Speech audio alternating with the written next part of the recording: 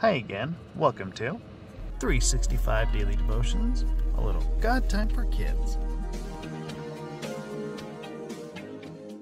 April 11th, The Rock.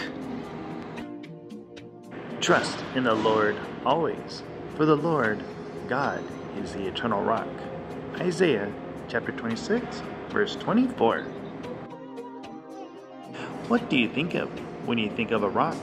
Do you think of words like solid, strong, and firm? God is like a rock. He is solid, dependable.